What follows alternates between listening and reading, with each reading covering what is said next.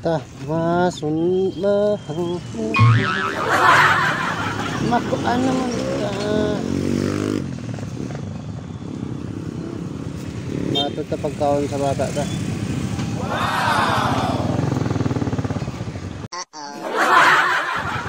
Hey. Bakal tayo na kay Cali Fried Chicken, KFC.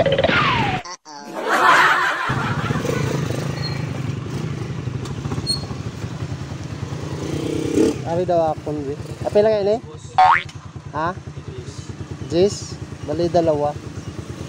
Ay, ar- ari ni? Dagko na eh? Ara lang. Unod lang.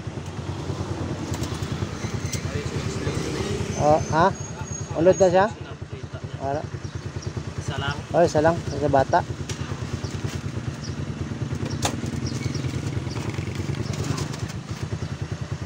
Hello, ketchup. Para na pag Uy, suka. para kay skill ko. Natambi ako. Ay, really?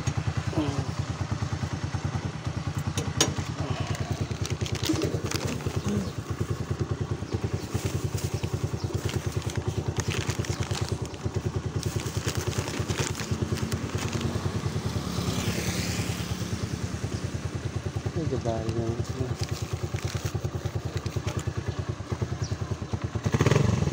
Ha? Sulami kay lang kuandra no? Yang KFC, Cali Fried Chicken kay murag Jollibee. Tudod lang. Pinakadabis ng uh, Cali Fried Chicken no? So yato na to sa aton bata.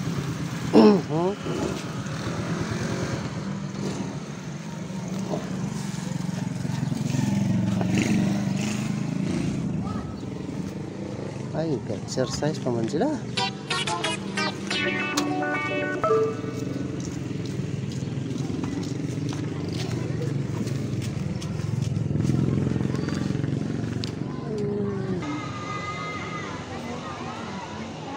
Tambal din ng Dunay. Oo. Sa to mayara ka lang dos. Mayara ka skindi, kasabakik. Tubong ang dos, ano lang mabakal? Kindi. Kindi, tatlo kami lug. Mas kay ganing manggala ganing duwa nga duwa kaywa. Why did? 5 pesos. Palit-palit talaga bagoong. Oo. Diyos mo sa bataan. Pero subong way sa may nagbalon nga saging ba?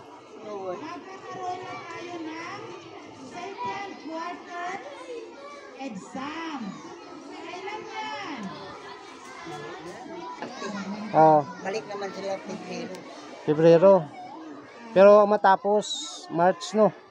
March March. Mm. Po. Okay, pagka kuan ibalik ang dati nga June ang eskwela. Ano na magsina klase sa April. Oo. April pagka June ay Mayo June. Oo. Mm, balik ang dati.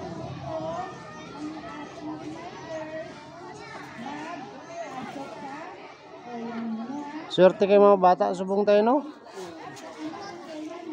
May tigyatod na sa motor. Sadto, galakat ka lang, lulayo pa.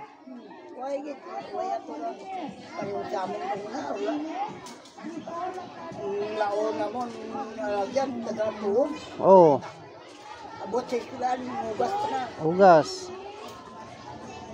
Muman ko na po. Ulit na. Kaya ang dati, ang subong ma motor ka lang, di pa mag-eskwela kung liyatod. Damo nga, school sa muna. Panaw lang na, may experience.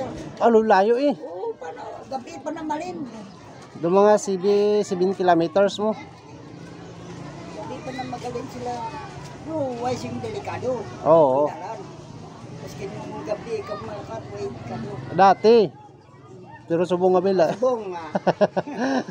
Yan, igasigan ko. Gani. Lubod lang subong kag sa dati gid. Muslan niya, muslan ka pa. Yan, lig ka pa sigad. Oo. Dati malakat ka lang, way sa mga ilabot. Maski sa mga Muslim sa mga magabiyan ka sa kamusiman, Oo. nakatulog pa nila. Kasi uh, Subong way na iba. Yato na natin ang kanya.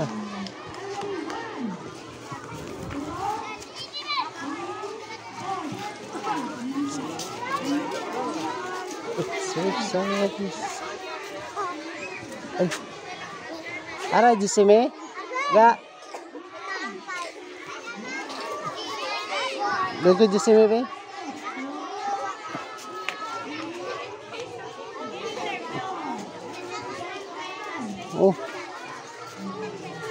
Ikaw na ang dala dito ha. Okay, malit na si Papa. Kata ko ha.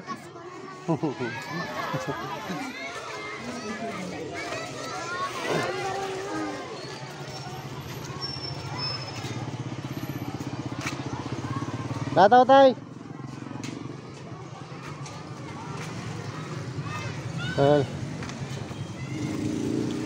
So tapos na.